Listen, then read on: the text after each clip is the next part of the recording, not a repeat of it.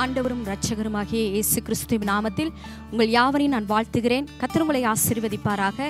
இந்த பெண்கள் ஊழியத்தின் சார்பாக உங்களை நான் வாழ்த்துகிறேன். ஆண்டோடைய நாமம் மகிமைப்படுவதாக இன்றைக்கு ஒரு வேத பகுதியை நான் தியா தியானிக்க போகிறோம். மத்திய இருபத்தஞ்சு பதிமூணு ஒன்றிலிருந்து பதிமூணு பத்து கன்னிகைகளை பற்றி இந்த அதிகாரத்தில் எழுதப்பட்டிருக்குது. ஐந்து பேர் ஆயத்தம் உள்ளவர்கள் ஐந்து பேர் ஆயத்தம் இல்லாதவர்கள். இந்த அதிகாரத்திலே இரண்டு விதமான கன்னிகள் உள்ள வித்தியாசத்தை நம்ம பார்க்க போகிறோம். புத்தி உள்ளவர்கள் புத்தி இல்லாதவர்கள் எண்ணெய் உள்ளவர்கள் எண்ணெய் இல்லாதவர்கள் ஆயத்தமாய் இருந்தவர்கள் ஆயத்தம் இல்லாதவர்கள் தீவெட்டிகள் எரிந்தது தீவெட்டிகள் அணைந்தது மணவரைகளுக்குள்ளே மணவரைகளுக்கு வெளியே. இதுக்கு இந்த வித்தியாசத்துக்குரிய காரணம் என்ன? அப்ப இந்த தீவெட்டி பத்து கன்னிகைகளை பற்றி இந்த வேத புத்தகத்தில் எழுதப்பட்டிருக்குது. இந்த தீவெட்டி பத்து பேரிடம் இருந்தது. தீவெட்டி என்றால் என்ன?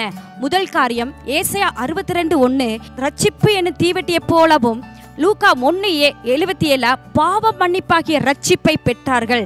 கத்தர் இந்த நாட்கள்ல பாவ மன்னிப்பாகிய ரட்சிப்பை நம்ம ஒவ்வொருவரும் பெற்றிருக்கிறோம். இப்போ சில ரெண்டு பதினேழுல ரட்சிக்கப்படுகிறவர்களை கத்தர் அனுதினமும் சபையில சேர்த்து கொண்டார். இந்த நாட்களில் இழந்து போனதை தேடவும் ரட்சிக்கவுமே மனசுக்குமார் இந்த உலகத்திற்கு வந்தார் என்று வேத புத்தகத்தில் சொல்லப்பட்டிருக்கு. இந்த கன்னிகைகளை பற்றி புத்தி புத்தி இல்லாதவர்கள் எண்ணெய் உள்ளவர்கள் எண்ணெய் இல்லாதவர்கள் ஆயத்தமாய் இருந்தவர்கள் ஆயத்தம் இல்லாதவர்கள் தீவெட்டிகள் எரிந்தது தீவெட்டிகள் அணைந்தது.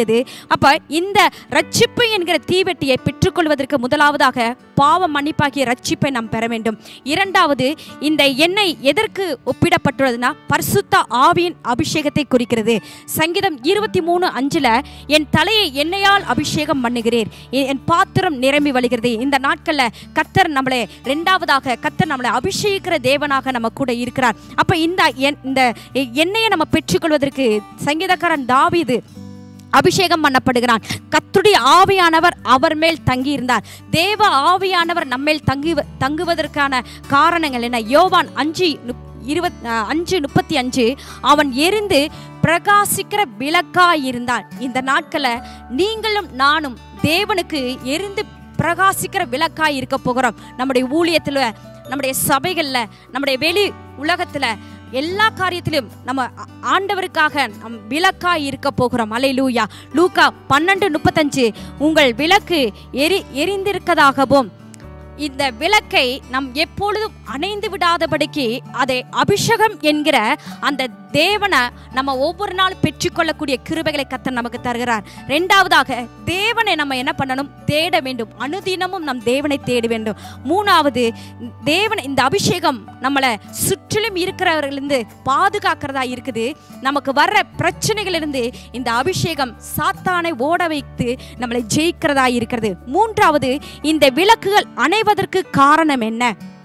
மூன்றாவது லூக்கா எட்டு பதினாறுல ஒருவன் விளக்கை கொளுத்தி அதை ஒரு பாத்திரத்தில் மூடவும் மாட்டான் கட்டிலின் கீழ் வைக்கவும் மாட்டான் உள்ளே பிரவேசிக்கிறவர்கள் அதன் வெளிச்சத்தை காணும்படிக்கு அதை விளக்குத்தண்டின் மேல் வைப்பான். இங்கே விளக்குத்தண்டின் மேல் வைப்பான். மத்திய அஞ்சு பதினஞ்சு விளக்கை கொளுத்தி மரக்காலில் மூடி வைக்காமல் விளக்குத்தண்டின் மேல் வை வைப்பார்கள். அப்பொழுது அந்த வீட்டில் உள்ள யாவருக்கும் அது வெளிச்சம் கொடுக்கிறதா இருக்குது. மூன்றாவது இந்த அபிஷே இந்த விளக்குகள் நம்முடைய அபிஷேகத்தை குறிக்கிறது. இது ஒரு நாளும் அணைந்து விடாதபடிக்கு நம்ம காத்துக்கொள்ள வேண்டும். இதுக்கு உதாரணமாக கட்டிலின் கீழ் விளக்கை வைக்கக்கூடாது. அது நித்திரை பிரியராய் இருக்கிறது. ரெண்டாவது பாத்திரத்தின் கீழ் விளக்கை வைக்கக்கூடாது. அது போஜன பிரியராய் இருக்கிறது. மூன்றாவது மரக்காலின் கீழ் விளக்கை வைக்கக்கூடாது. அது பணப்பிரியராய் எ- என்கிற தீவெட்டியாய் இருக்கிறது அலையிலூயா இந்த எண்ணெய் தேவை நமக்கு என்ன தேவை?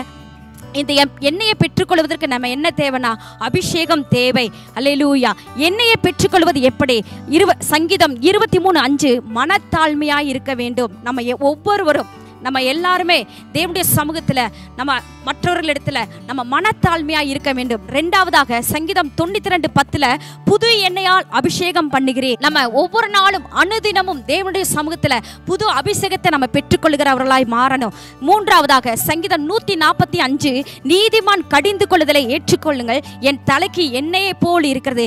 இந்த நாட்களில் நம்முடைய அன்றைய அபிஷேகத்தினுடைய வல்லமை ஒரு நாளும் நம்ம அதை இழந்து விடக்கூடாது அந்த அபிஷேகத்தை நம்ம பெற்று ஏற்றுக்கொண்டு தேவனுக்கு பிரியமுள்ளவர்களாய் நாம் வாழ வே- ஆண்டவர் விருப்பமுள்ளவராய் இருக்கிறார். சங்கீதம் நாற்பத்தஞ்சு ஏழில் ஆனந்த தைலத்தினாலே கத்த நம்மளை அபிஷேகிக்கிறார். ரெண்டாவதாக எப்ரேயர் ஒன்று ஒன்பதுல உண்மை ஆண்டவரே ஆனந்த தைலத்தினால் அபிஷேகம் பண்ணினவர். இந்த நான்கு காரியங்கள் நம்முடைய வாழ்க்கையிலே கத்தர் அணைந்து விடாதபடிக்கு இந்த தீவெட்டிகள் போல நம் பிரகாசம் உள்ளவர்களாக தேவனுக்குள்ள நம் ஒவ்வொருவரும் பிரகாசிக்கிறவர்களாய் கத்த நம்மளை மாற்ற ஆண்டவர் விருப்பம் உள்ளவராக இந்த நாட்களை நம்ம எல்லாருமே தேவனுக்குள்ள அந்த அபிஷேகத்தை நம்ம இழந்து கூடாது இழந்து விடக்கூடாது. நமக்குள்ள இருக்கிற அந்த பரிசுத்த ஆவியானுடைய வல்லமையை நம்ம ஒவ்வொரு நாளும் அ- அனுதினமும் நம்முடைய வாழ்க்கையில செயல்படுத்தக்கூடிய கிருபைகளை கத்த நமக்கு தரும்படியாக. தேவன் நம்மளோடு கூட இருந்து எல்லா காலங்களிலும் கத்தர் எல்லா சூழ்நிலையிலும் கத்தர் நம்மளோடு கூட இருந்து நம் ஒவ்வொருவரையும் பிரகாசிக்கிறவராக கத்தர் நம்மளை வைக்க போகிறார். ஆண்டுடைய கரம் நம்மளோடு கூட இருப்பதாக கத்தர் உங்களை ஆசீர்வதிப்பாராக. ஆமேன் ஆமேன்.